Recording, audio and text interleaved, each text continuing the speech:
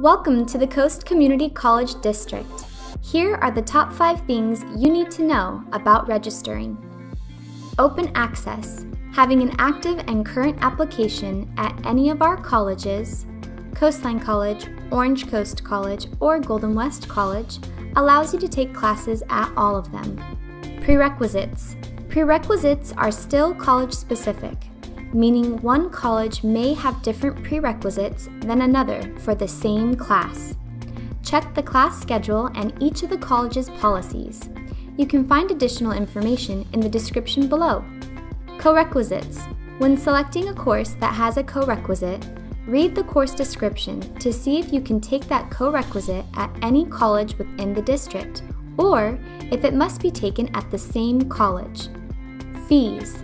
If you decide to take even one course from another college, you will still be required to pay the college service charge and health fee at each individual college.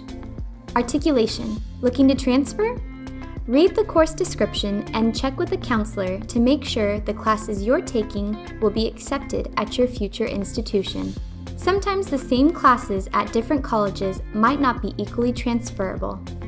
Questions? Contact us. Each college's information is linked below.